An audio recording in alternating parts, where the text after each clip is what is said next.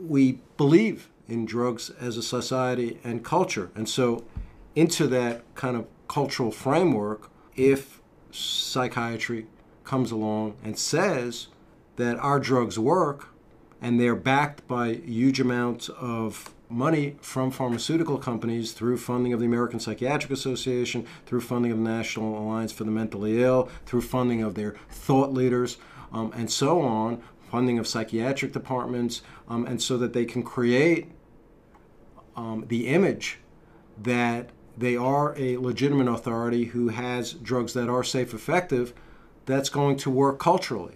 Part of the terrifying thing, or it should be terrifying for our culture and our society, is that increasing numbers of children who are just behaving well within the range of normal child behavior are being pathologized or being medicalized. So there are several examples of this most obvious for me, starting in 1980 with these oppositional defiant disorder, ODD.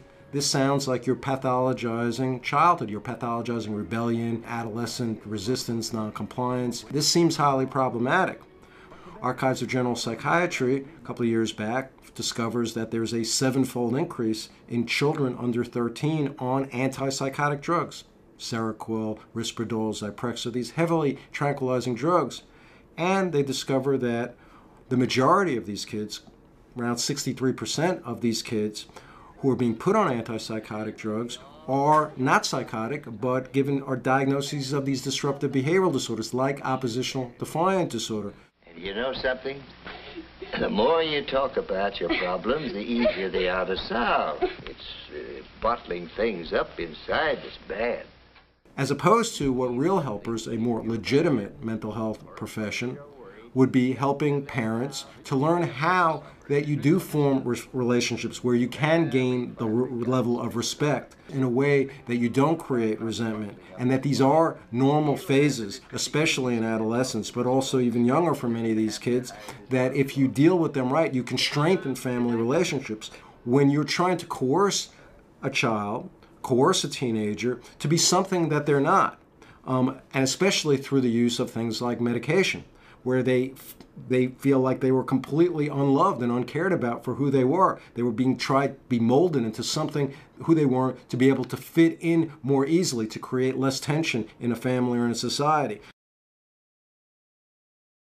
The legitimacy of psychiatry's uh, process of how uh, people are diagnosed um, is being called into question in major ways.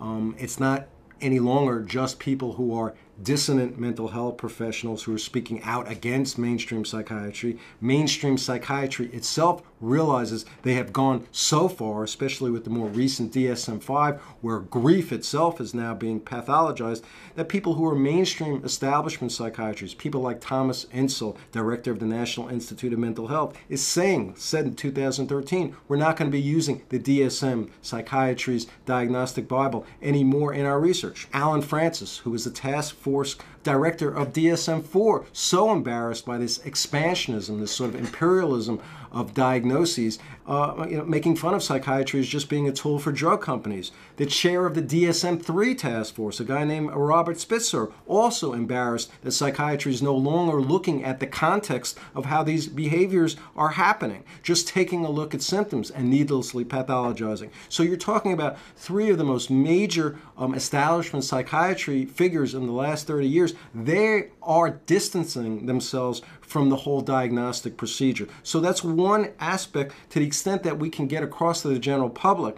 that in terms of these diagnoses themselves, they're illegitimate scientifically. They have no value. They're not valid and they're not reliable. Even if you believe in things like oppositional defiant disorder, it cannot be reliably diagnosed. Kids act differently with different people. Um, there's no blood test, there's no EEG, there's nothing like that that stays consistent, and so their behaviors change. And so the, the questioning the legitimacy of psychiatry's diagnostic procedures and we questioning the effectiveness of their treatment, which a lot of more legit, more establishment psychiatrists, psychologists are willing to do nowadays. It's more mainstream to question the fact that antidepressants don't seem to work in aggregate much better than placebo sugar pills. Uh, people have now delegitimized a lot of these biochemical imbalance theories. It's more mainstream establishment psychiatrists like Ronald Pies um, have talked about, like, well, this stuff is just, we've always known it's urban legend, that there is no biochemical brain imbalance theory. The major theory that, by the way, was used to sell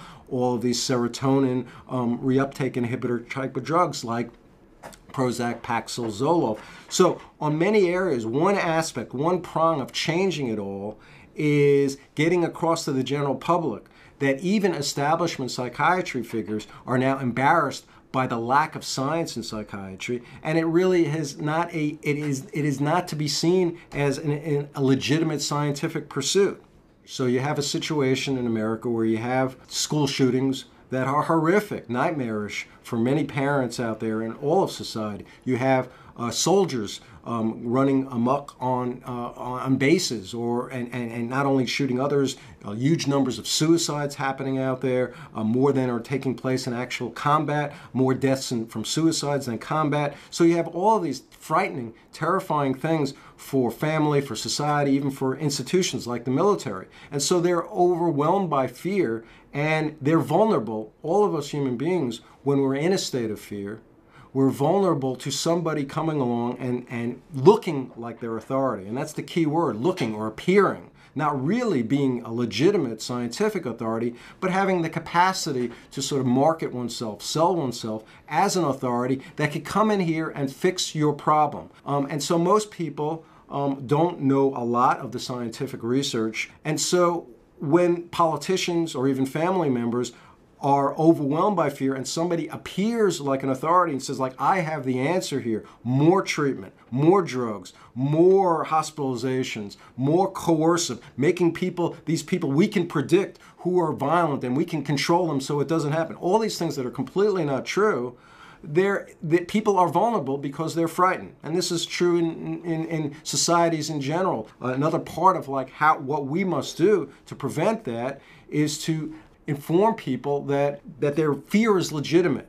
But that doesn't necessarily mean that you want to trust people who look like they know what they're talking about when they have a, a long history, a long track record of like almost getting nothing right okay um, and so this is this is this is hard to do because the airwaves the media are controlled by people who have the most money which in the case of the mental health profession, the big money in the mental health profession is drug company money. And so drug companies want a certain message to be gotten out there. If enough people use their drugs and enough of their drugs are being used out there, th- that will certainly fix the problem you know, take a look in the military, for example, one out of six of these soldiers are on some kind of psychiatric drug. And we have huge numbers of, of suicide going on, huge numbers of, of violent behavior. Um, it's not working there. They are being treated these teenage shooters. We know many of these teenage shooters. Some of the most famous ones, they have been treated psychiatrically.